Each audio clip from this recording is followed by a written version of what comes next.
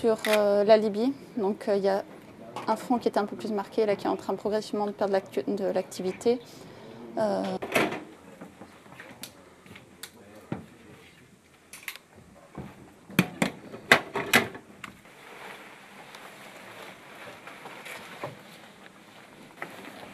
Euh, Je vais voir pour les sacs.